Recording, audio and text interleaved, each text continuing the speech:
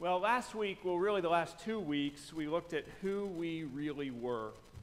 We asked ourselves some diff- difficult questions, and last week I asked you to look closely at what your strengths and weaknesses were. For me, that involved coming to grips with those weaknesses and hopefully uh, beginning a process uh, to improve them, right? Well, now that we've started the process of identifying what part of the body, as Paul mentioned, or team, uh, or puzzle, as I mentioned, that we are, we can start to talk about how we experience authentic Christian community, because that's where we're eventually trying to get to in this chapter that we've been working through these last several weeks this summer. So today we make our way to uh, Romans 12, verses 9 through 13. Let's pray together. Lord God, open our hearts and minds to this, your word, that we might hear the message you have for us this day, that we might continue to grow as individuals and as a community of faith as we strive to be your people in this place and to serve you with love. It is in Jesus' name we pray. Amen. All right, Romans 12, 9 through 13.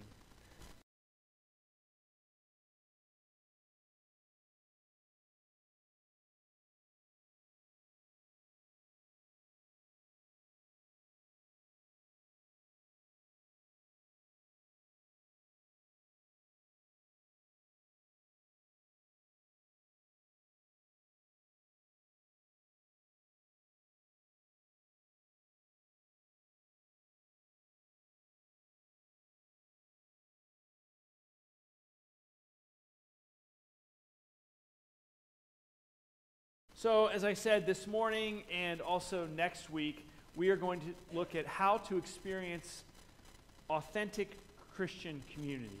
And to do that, we'll look at these verses 9 through 13 of our chapter here in Romans. And I promise there's only one more section after this, so if you're tired of, of, of me in Romans 12, you get a break because I won't be here Labor Day and we will be done with Romans 12 by then. So I promise the end is near if you're done. But if you're enjoying this and digging in, then uh, I invite you to stick with me today.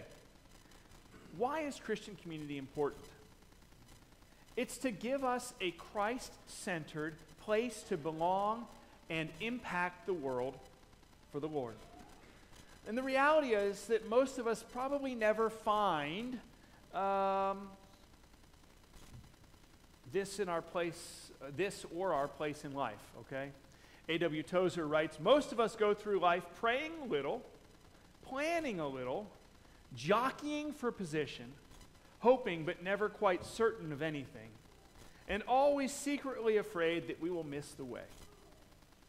This is not what God wants for us, friends.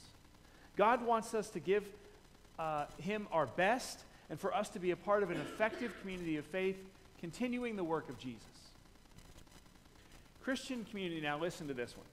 Christian community starts not with strategy not with doctrine, but about how we should treat one another. And that's the general uh, principle of these few verses of, of, of this chapter today. Look at Jesus at the end of his life as an example. On the night Jesus knew he was going to die, after washing his disciples' feet, after sharing uh, time with them, he gave them a new command. And this is from John uh, 13, uh, Uh, 34 and 35. A new command I give you love one another. As I have loved you, so you must love one another. By this, all men will know you are my disciples if you love one another.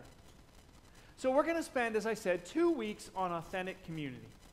And this first week is about this very first step treating one another as Jesus did everyone he encountered, especially his disciples, with love. Now, you may have caught a glimpse of this when I talked to the kids, because this is not always easy, is it? It's easy to love carrots, I guess, from their perspective. It's easy to love uh, doing the things that we enjoy, building Legos or camping or whatever it might be. It's easy to love the ones that love us back, but it is not always easy to love others. And authentic community is very difficult to find and even more difficult to maintain because we mostly love ourselves. I thought I was so close uh, when he said uh, that we should love our neighbor. And I thought he was going to say, as ourself. But he said, our neighbor named Helen, or whatever he said, right? So close.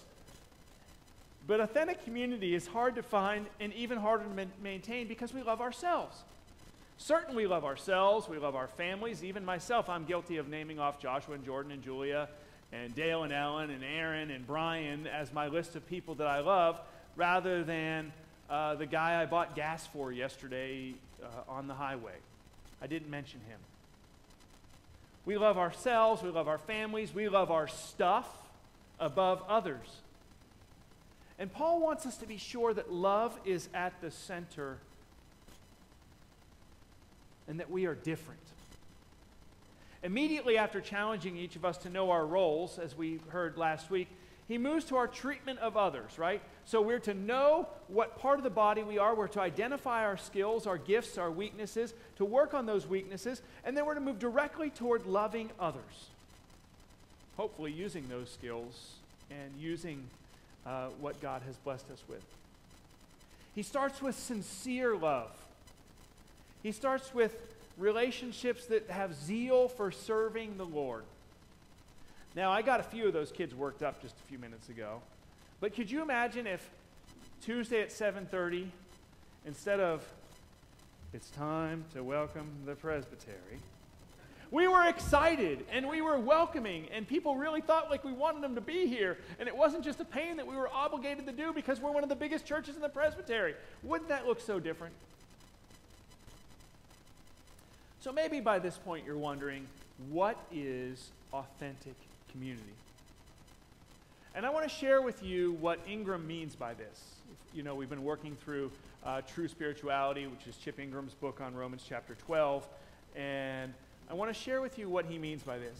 And I think once you hear what he means, you'll be excited and you may even want to be a part of a, an authentic community. Now, listen up. Ingram writes Authentic community is powerful. Authentic community is something we all long for. Authentic community goes way beyond simply being on a team or being part of a club. Now, remember we talked about at Montreat. I was uh, there, and, and, Kelly and the kids and all were there, and we had this uh, uh, fiery young Baptist preacher who was our preacher every night, and he always said, Here it is, look at me, look at me, pay attention, get your phone out and write this down. This is that moment. Going back to the quote. Ready? Authentic community occurs when the real you shows up and meets real needs for the right reason in the right way. Well, there's a lot of real in there two reals and two rights. Uh, and they seem to make all the difference. In fact, I'm going to read this again. In fact, better yet, let's put that quote up on the screen.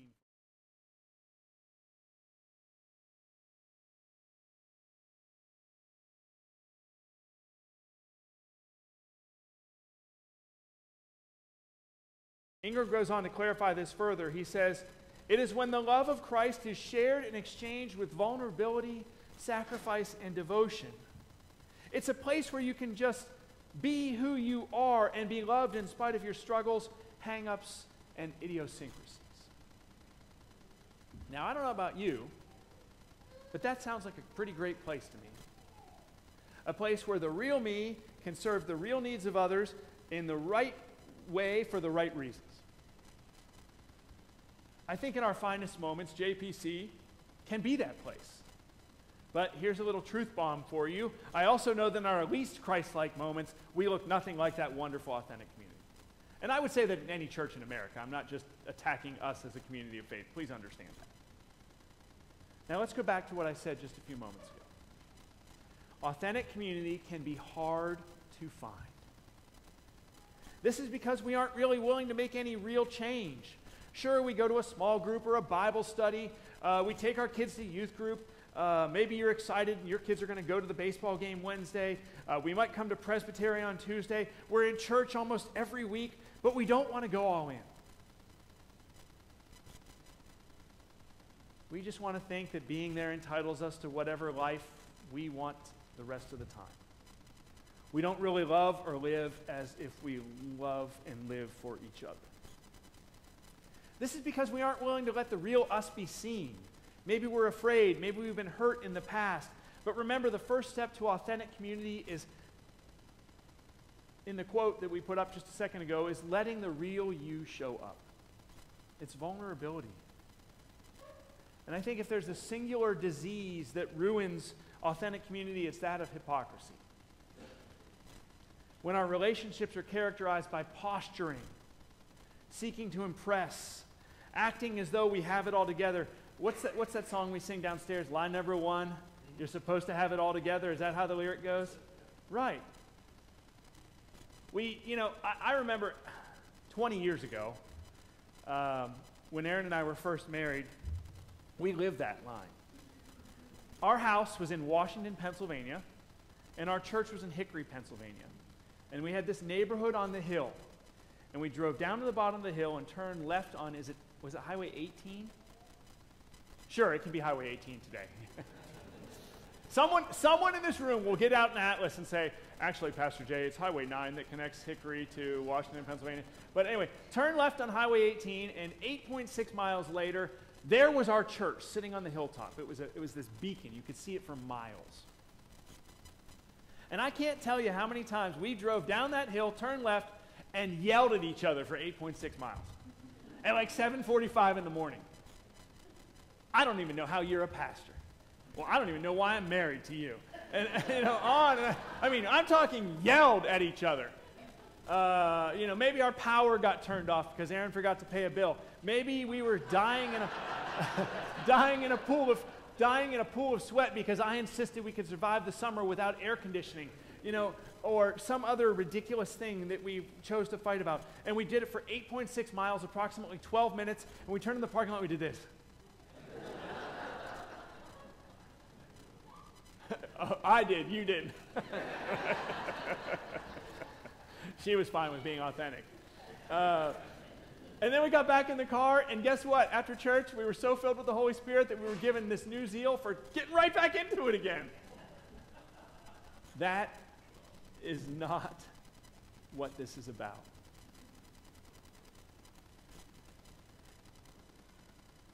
When our relationships are characterized by posturing, seeking to impress, acting as if we have it all together, or downright untruthfulness, we eliminate the possibility of authentic community. And we can never be loved unless people know the real me, not the version I present to gain people's approval. And this is true for each of us. We're afraid because it's risky. The possibility of rejection is so real. Ingram says this about this, uh, this area it's risking rejection by being honest and authentic in relationships that allows me to experience genuine acceptance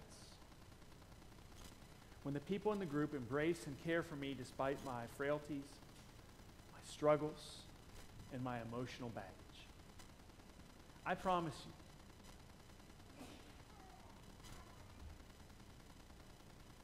there are people. There are people in this room. There may be people in your small group or people in your Bible study that will accept the real you this day. And this is a two way street. It starts with us being vulnerable and ends with loving acceptance made possible by the Spirit of God. And that's when we see Christ in each other, both in our strengths and in our good moments and in our weaknesses, in our bad moments. Could, I'm sorry, I'm, not, I'm just so not used to people being over here. I feel like I'm ignoring y'all. It's, I'm, I'm glad that you're all here today. Could you imagine if God didn't each day extend his grace to us grace upon grace in Jesus Christ? Could you imagine if we as individuals or a church got what we deserve from God? Because I certainly cannot. In response to God's grace, let's strive to be real and authentic, accountable to each other. Now, hold on. I'm, I'm, I'm done. But this is not a license to be brutally honest or an ogre because that's the real you, okay? You can't go, be gruff and rough. I can't go out to the car and ride to lunch yelling at my family because that's how I feel and I, I'm embracing the real me. You're being called to be the real you in Christ, okay? A model of Christ, who God is calling you to be, taking those strengths, taking those gifts that you've identified and saying, This is who God has made me, and this is who God wants me to be, and I'm willing to share that with others. Next week, we'll look at the difficulties of being real and staying real. We'll also discover what could keep us from experiencing authentic community. For now, focus on sharing the real you.